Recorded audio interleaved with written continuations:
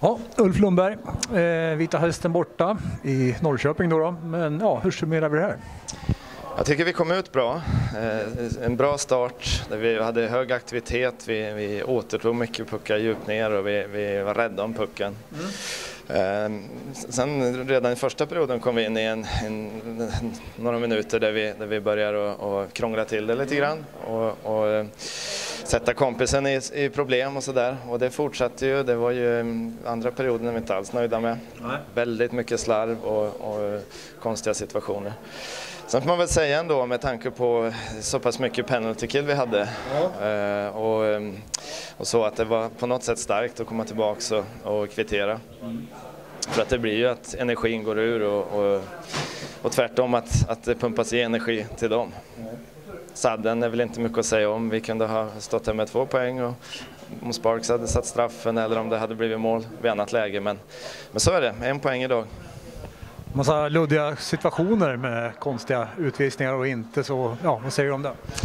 Ja, det, det, var det. Och det var, ja, det var mycket, många sådana där tveksamma. Domarna måste ju ta beslut på på kort tid och ibland så konfererar de länge efteråt och då vet man inte riktigt. Då är det lite lotteri sådär. Men, eh, men eh, för mycket utvisningar uppenbarligen och sen så, så fick vi inte, vi, det var jättebra spel i penalty kill ska vi säga. Det var, det var riktigt strångt. Eh, men vi hade ju våra lägen i powerplay också där vi kunde ha nypt dit den.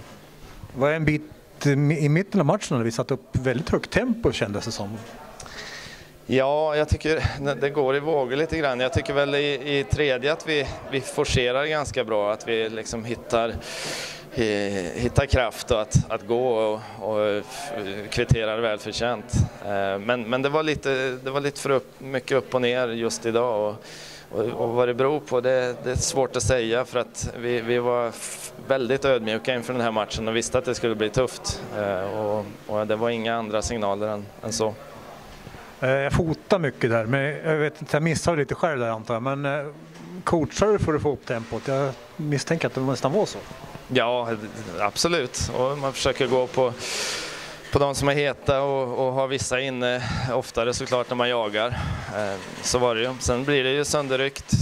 Men som sagt, penalty gjorde det ju fantastiskt bra. Så att, Eh, men, men, så är det och försöka se vilka som är heta och sådär. Men eh, eh, ja, nu är det två dagar, sen är det upp på hästen igen.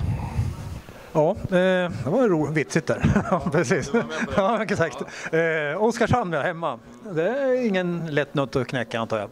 Ja, det är en höghastighetsmatch som, som eh, det gäller att ta väldigt snabba beslut. Men det gäller också, precis som, som vi hade pratat om inför idag och tidigare matcher, att vårda pucken, vara rädda om pucken, inte ge bort pucken till motståndarna. Eh, för vi är bra när vi gör det, när vi rör på benen eh, och det ska vi fortsätta med. Eh, Tryout-killarna kan man få en liten hint om dem? Och Hur tänker vi där? Ja, eh, de har väl gjort det bra. Eh, de har gjort det bra, eh, absolut. Berg hade väl lite, lite oflytt med några utvisningar idag. Men, men jag tycker de har kommit in bra. De har kommit in bra i gruppen också.